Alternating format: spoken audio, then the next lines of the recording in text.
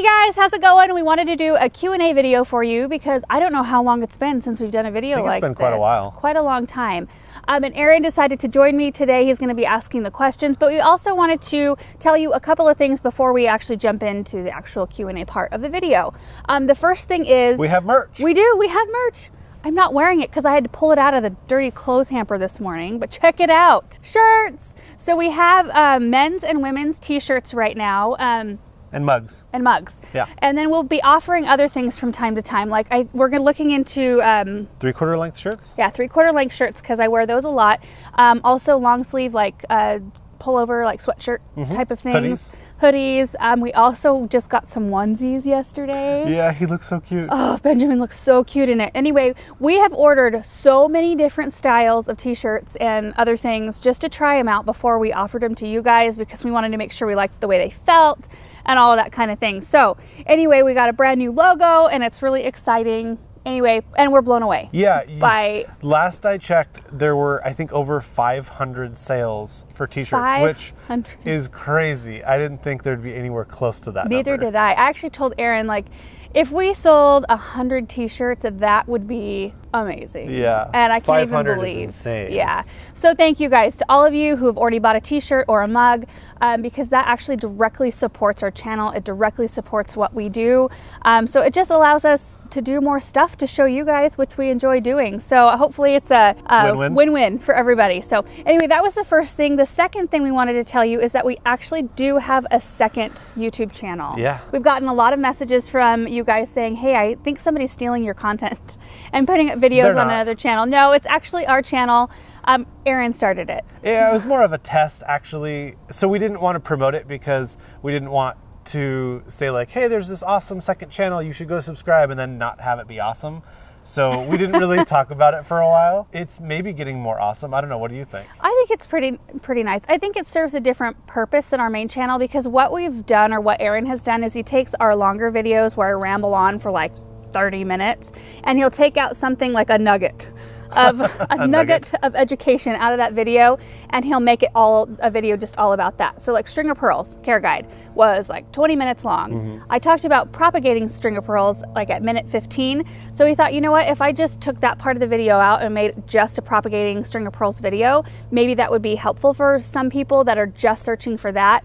Um, so that's kind of what it is. It's condensed versions Yeah. of our other videos. So it's probably a little bit redundant, although We are putting some vlogs on there Yeah. that either didn't turn out the way we wanted to, or, or they're like behind the scenes. It's called Garden Answer Highlights, and you can go check it out if you want to. There are a couple videos you may not have seen yet because they're not on this channel. So anyway, those are the couple things we wanted to tell you. Um, so now I think we're just going to jump into the Q and A. I put it out on Twitter just saying we were going to film this, and if you guys had any questions, let us know. So there was a lot of good ones. Okay, first question. Mosquitoes and ticks. You spend a lot of time outside and don't seem to be bothered by them.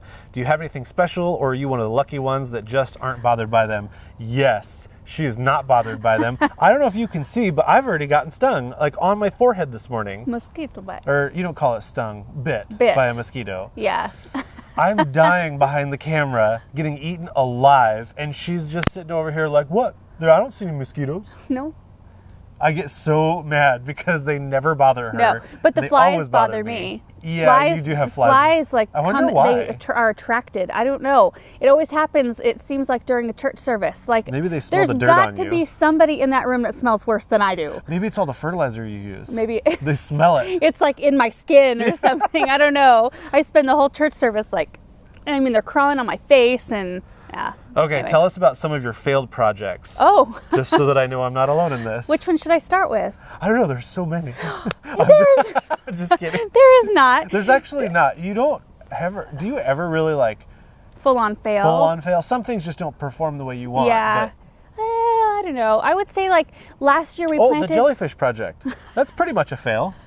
That's right there. That's only a half fail. It's well, The yeah, the dichondra dichondra looks looks, pretty awesome. awesome. but the impatiens. The impatiens are. out. I'm not planting impatiens anymore. I'm done. They I don't am really work so that well done. I don't know if it's just me, so that's a fail. Impatiens are a fail for Impatiens, me. yeah. Um, I don't know why. They were great in our last garden. I planted them in. oh. I planted, planted them in the landscape in our last garden, and they were awesome. Do you remember? Oh, I do. We have a. Do we have We a have photo? we have a photo. We'll try to find it and Yeah, we'll put it on the screen because it they were amazing. And now at this garden, it's like I've lost my touch. I don't know. Anyway, last year we put Super Tunia Yeah, Bordeaux in front of the house, like along our walkway, and it looked good for about a month or maybe two months. But the water, Uh, Maybe two and a half or so, but it was getting too much water. it was getting way too much. that was kind of my fault too with the sprinklers because the sprinklers were hitting them and it was just too much. And I think you were watering them too on top of it. I didn't. So- I didn't know that they were getting water by that the was a sprinklers. big old miscommunication. And I think that's probably the most most of the time the reason why people fail or why we fail is because you just don't realize um, watering issues or maybe like uh, exposure exposure issues Mm-hmm. that you just aren't anticipating. but it's a learning process, and now Yeah. that area looks fantastic. Yeah, so like I the think stuff you put in there this year is amazing. I think failures are probably good in the garden because you learn a lot from them. I they do. can be expensive though sometimes. Yeah, like last year we had to re- I pulled all the Bordeaux and I planted some really pretty cabbage and pansies. But I always try to, especially with in-ground plantings, I try to do things that will last through a hard frost. That way, I don't feel like I need to be out there planting more stuff. Um, that's way that way I'm only you know it's less work and less money um, to do it that way. We were sweating bullets about the arborvitas we planted last Oh, year. yeah. Because they started to get brown and kind of sun scorched. And we planted them at like 110 or whatever it was, it was. A, no, it was 104 that day. 104. 104 is way too hot to be planting anyway. I mean, we do it, Yeah. but you know, you run the risk and of something not thriving. And there was six, there's 65 arborvitas. If we would have had, I mean, we had three. We replaced three out of 65, which I think in any situation that's a really good. Is that ratio? Yeah. Yeah. I moved houseplants outdoors early this summer, mostly succulents and orchids. How can I assure the insects haven't taken up residence before I move the plants back indoors this fall?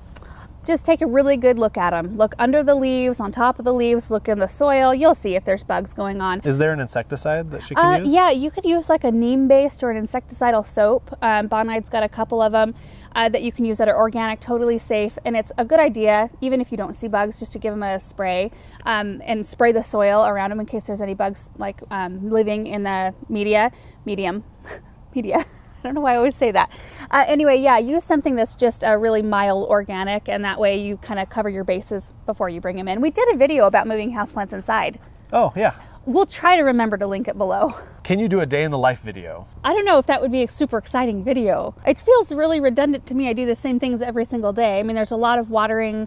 I'm trying to squeeze in as much garden maintenance as I can around like video projects and trying to spend as much time with Benjamin as I can as well. The vlogs that you film when you're kind of on your own, those are kind of day in the life. They don't show you, you know, getting up and getting ready, but it does that kind of show your day. That would be interesting. day. Nobody, I don't think any of you guys would like to see that. But that's sort of true life. I mean, it's Yeah. not. We're not putting on. No, it's what I'm what I have planned for that day. Yeah. and- mhm. I'm curious to see how the crescent self-watering pots along your fence line are doing. It was such a pretty mix of super supertunias. So I really like the colors that I chose for those pots this year. Um, we are going to do a like a legit uh, Update? update video. They look good though. They I think look they good. look nice. They don't look quite as glorious as they have in past years. Um, they did last they- year. and the year before. Uh, Didn't we have them the year before? no, I think just this is the second year. They didn't look as glorious Time as they flies. did last year. Um, but they haven't had budworms at all this year, but they did get aphids, so I had to spray a few times for aphids. Uh, and that kind of sets the plants back a little bit. And these just have a little bit of a different growth habit. I think by anyone's criteria, they look good. I yeah, I mean I think they're pretty. You guys will see them. We'll show them to you. Yeah, they look good. How is Proven Winners' shipping process? Is it risky to order plants online and Mm. have them delivered? So obviously, getting plants at your local garden center is the best option. And Well, I, you can see what they look like and just like hand pick what you want. oftentimes you get bigger ones too. Yeah. Oftentimes it's just available. You have a lot bigger plants available. Um, so you know, talk to your local garden center. If they're not carrying proven winners, they should be. Um, we try to bring in as much as possible. My mom does all the ordering, so she's always like trying to find as many proven winners varieties as she can. Um, you know, Mm-hmm. I think it depends on where you order them from too. If you go Yeah. to provenwinners.com, that's like, you know, straight from the horse's mouth. So it's that's going to be the best way to order plants. And I know for a fact that if you have any issues with like if they sat at the sip, shipping center for too long or if there was some if like there freak was some accident. yeah uh, whatever happened Mm-hmm. um, they were mishandled they'll make it right so Mm-hmm. if you ever contacted them and you weren't happy with your order they would make it right I've had a good experience too. Typically, we get our plants like we'll um, get some things like flower pillows we order in, and um, a few other things we'll get in the Yeah. spring. I don't order stuff in the middle of the summer because it's just it's tough on anything to ship in the when it's so hot. So it's usually spring or fall, and I've had a really good experience. I'd love to know how long it typically takes to edit a video and what Aaron's and yours, Laura, uh, favorite editing program tools are. So it takes me maybe like two to five hours, depending on the video, to edit uh, start to finish, to get like the thumbnail done and to get it uploaded and the whole editing process. And then mm, uh, I use Final Cut Pro to edit. And then you do you edit a lot of the photos, Yeah, and take a lot of the photos. Yeah, I take most of the photos and edit those, and I don't even know what program I edit them in. I just it's just the regular photos. Aaron puts them on the computer and I get in there. but he does all the video. I don't do any video except for when I do vlogs. I do the video. it's never as good. Oh, Sorry. I think they're good. I like them. How do you not have budworms? Okay, so this year is the first year we have not dealt with budworms and it's because we took preventative measures. So usually we all of our supertunias and superbells get afflicted with it and then we are without blooms for like weeks while the mm-hmm. plants are trying to recover. So this year we decided to start spraying before the budworms hit. So I think we sprayed for maybe like 5 or 6 weeks once a week with BT, which is Bacillus thuringiensis, which And is it's not hard to do either. no, it's a totally organic spray that does not hurt the honeybees. Um, so I don't feel bad at being out there just, just spraying the plants Yeah. down. And our plants have done great this year. Yeah. I had, I didn't see one. Did Except for the aphids on the TruDrops, but those are the only pot, pots that got aphids. Hmm. Um, and I took care of that pretty quick. So What are your most watched videos so far? I love seeing when they get tons of views. Just curious which ones have the most. you would know. I don't know. So on YouTube, our most popular is the um, Antique Dough Bowl project. Uh, I think That one got a lot of hate and slash love. concern for the plant. A lot of people liked it too, though. There was a lot of likes Yeah. on it, a lot of positive comments. So it was an antique bowl that was beautiful that a customer brought down to the garden center and she wanted me to plant it. So it was not my decision to put plants in this antique bowl. But I did it because the customer wanted it and I lined the whole thing with really thick plastic so it was totally safe. It wasn't like I was harming the bowl or anything unless somebody was being really too much with the watering. Generous with the Too water. generous with the water, I guess. Um, but there was also concern about the type of plants I put together in that uh, bowl. I'm just so used to putting whatever I want in containers because in like contained stuff, I use a syringe so I can direct the water right to where I want it to go. And you know, after a certain amount of years working with plants, you can kind of read them and you can kind of know what plants need what and what you can put together and what you can get away with. I don't know. Like if you were a beginner, I would say don't do that. Put really compatible stuff together, but um, once you get kind of down the road in your gardening experience, I think you know go for it and try different stuff out. But Yeah. what, what about Facebook? Oh, on Facebook, our most popular is the um, pumpkin snowman video. I Is think. that Yeah, I think it has like over 50 million views. That was kind of a fun project too, and mine lasted forever. Yeah, a lot of people said, "Oh, they're going to rot right away," but they lasted they- through November. You know what though? That's probably correct. Like if it was a In a hot, warmer climate. like a hot, humid. But that year, remember, it got It was cold. It just froze the pumpkins right in place, and Yeah. they lasted like what past That Christmas? was the same year that we had the crazy snow. Remember how it got cold and snow? We got 52 inches of snow. and you fell off the roof? I did fall. We didn't get film of that. no, it Should didn't hurt. I fell off into a huge pile of snow, so it Yeah. didn't even matter. yeah, it wasn't a big I deal. didn't even knock the air out of myself. I don't think. No, because you fell like three feet. Yeah. Fun music questions. Doing any more music videos? Love the Hillsong cover you did with Monica. My sister. Yeah, what piece of music is sitting on your keyboard? Do either of you compose? Laura, do you sing? Oh, I Boy, wish. a lot of questions. I wish I could sing. I sang to Benjamin, poor little baby. he loves it. He seems So, to like it. So for context, we filmed a couple music videos before Garden Answer when I had first bought a camera and was playing around with it.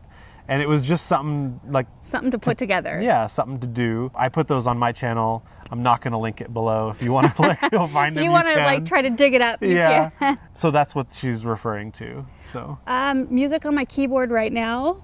yeah, what is it? Christmas music. Oh.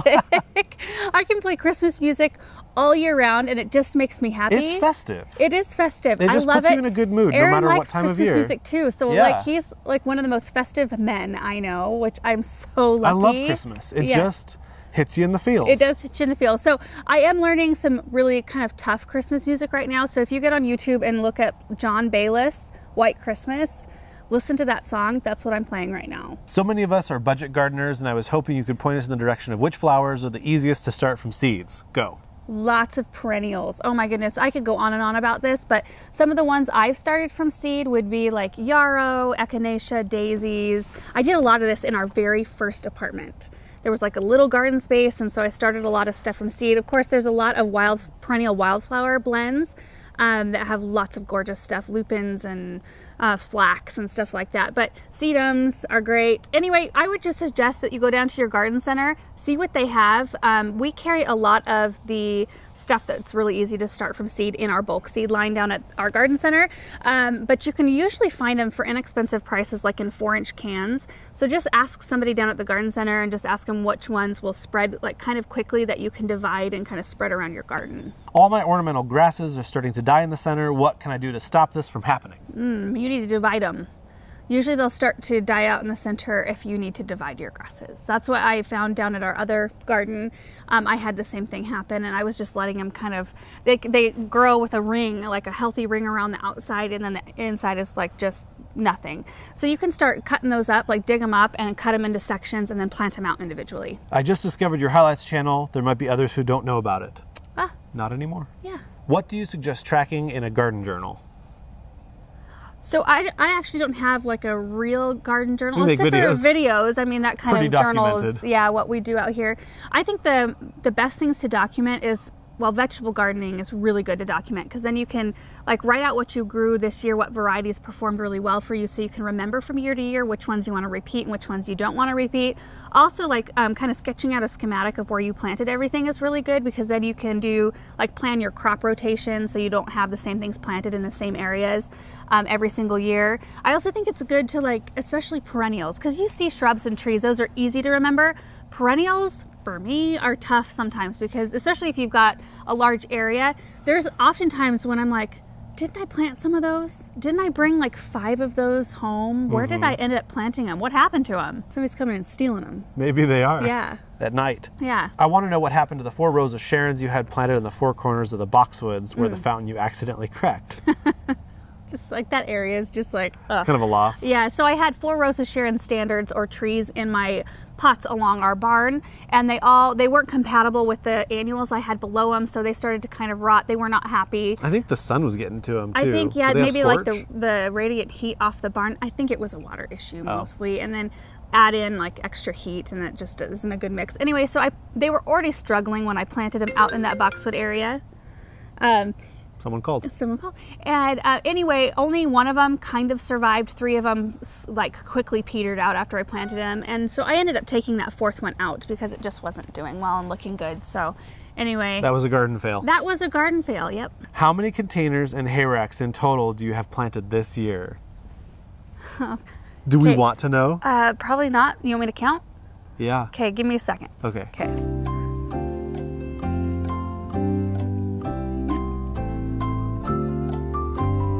Okay, you want to know? No, I don't know. Do I? 169. Whoa. Now, keep in mind that that includes the 44 hay racks and the two pots up front. So that's a huge chunk. That counts yeah, that's a huge chunk of. because they all have plants in them. Yeah. And then. Um, How know, many are on drip? 14 are TruDrop. Um, Not Oh, counting the TruDrops because those are kind of self-watered. um, I think it'd be faster to count the ones that aren't on drip. Um, nine. I don't know. I would say maybe like 30 containers aren't on drip. Wow. Anyway. What college did you go to?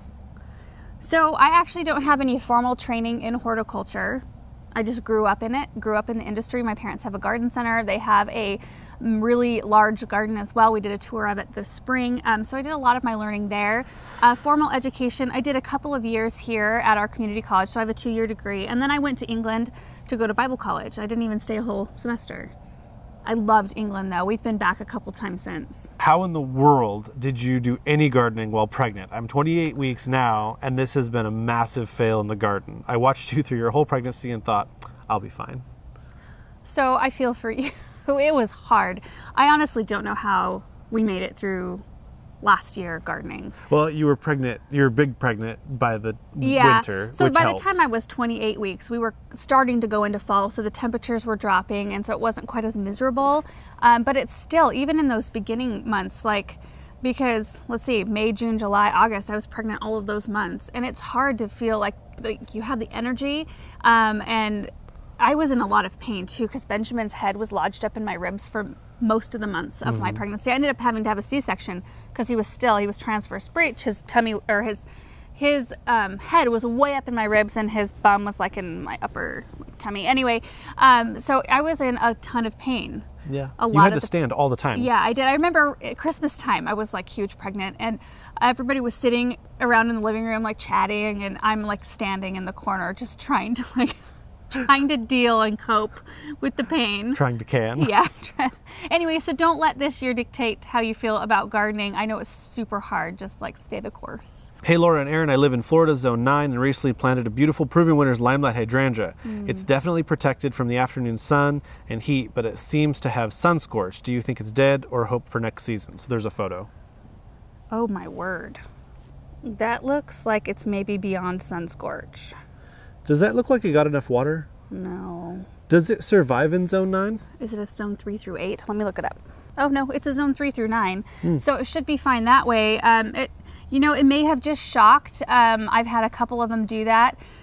Uh, at this point, I would just hang on, keep it watered, wait until next spring, see if it pushes any new growth. If it doesn't, then you know it's gone. Um, you can also tell if it still has life in it if you take your fingernail or your clippers and kind of lightly um, scratch up the very top layer of bark. If there's still green underneath it, then you know there's still life in there. If it's all brown and it just like cracks off and then you might have lost it. Um, you can cut it all the way back uh, if you want to. I noticed that somebody gave basically the same advice you did, and he actually responded saying, uh, I've been giving it plenty of water since I planted it. I did cut it back this morning and it's still green. Oh, okay. So keep There's it watered. your answer. Awesome. Uh, would love any stories about life with Benjamin. Oh my goodness. Okay, so here's one. When we put him down for bed almost every night, he doesn't like to have a binky in his mouth. Nope, he not likes a binky fabric, baby. so he Yeah. likes stuffed animals, which is cute. Yeah, he's like hugs his bunny. Yeah, and what he does almost every night is he takes the ear of one of his bunnies, puts it in his mouth, and does this ring a ring a ring a ring a ring a ring.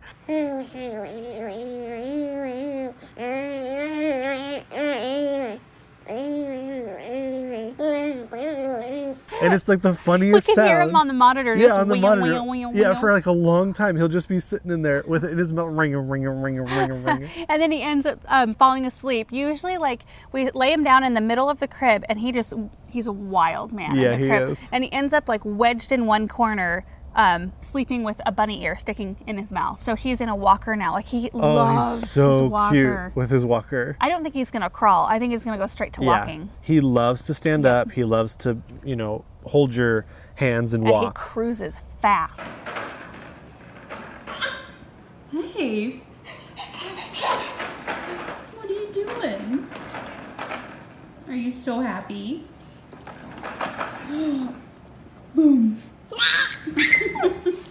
When is the next garden tour planned for? Uh, hopefully this week. We uh, wait oftentimes for uh, cloudy days because when Yeah. it's not only is it hot in the summertime, it's like 100 degrees. Um, I guess we could do it in the morning, but sometimes it can. The be tough. lighting's weird. Yeah, the light can just, it's bright in some areas and dark in other areas. It's really hard to film. When so it's cloudy so days, shadowy. Cloudy days are just the easiest, but we don't get very many of them. So. We have it uh, Friday this week. It says it's supposed to be partly cloudy, um, and my mom will have Benjamin all day. So we're hoping that um, we're hoping that the clouds are. I mean, at least out for an hour. If we could have a cloudy cloudiness Yeah. for one hour, we could get it done. But you know what? It's actually been a little bit freeing not doing garden tours every single month this year. That's what we did last year, and Mm-hmm. it was. It was a little bit hard um, just because of the whole lighting issue. Because a lot of times we'd have to wait till the last minute and do the tour like at dusk. Yeah, it was it was a lot, really stressful. It doesn't seem like it should be a stressful thing, but it kind of was. Yeah, it kind of was. And there really isn't like, you know, some months there's not a whole lot of change. It's Yeah. just like we're in maintenance mode. Well, in not a lot of change mode. to us, maybe. Yeah, I guess so. It's just been it's been a little bit nice taking a break from doing that so often. I'd like to know if the phrase "these ones" isn't grammatically correct. I mean, I could probably Google it, but I'd love to hear you guys address it. These ones is so not grammatically correct. Well, I've never checked to see if it. I I don't think it's grammatically correct. I think it would just be these. Yeah, or, I don't think like- there's any there's nothing Yeah, I don't think you need to say ones. I think you just say these. Yeah. So it's probably not correct because it's like unnecessary to say ones. I hear people say these ones all the time now, and especially now that I'm like kind of honed in on it. Yeah. Since people have been saying it's like, one of those things like out. like saying a whole nother. Oh, I can't stand that. Yeah. Whole nother or alls. All's you gotta Oh, do. Alls you gotta do. Or some people will say, I seen that. I seen Yeah. that the other day. I seen like, this. Ah, I saw that the other day. Yeah. But then here I am saying these ones, and they're probably like, oh my gosh. Yeah. Uh, so I don't know. I don't even. I don't even try to hide it anymore. I just rock it. We thought about doing a shirt with that. Tell you what, though, you really start to notice crutch words, or not necessarily Yes. crutch words, but things that you say that aren't necessarily correct when you're on Yeah. camera. What are your top five annuals? Oh, okay. So my favorite one this year is plain the blue salvia. I just I didn't even plant that much of it. I think I've got like maybe eight or so in the garden, and I just it just brings me joy every time I walk by it. I just love the way it looks. I love the way the foliage looks, um, and the hummingbirds like it. Uh, any type of super supertunia I love, obviously. Because The red ones? No, I don't like red. I Um, love red. I like the black cherry though. That one's like a maroon red, so you can use it with pink and it looks really pretty still.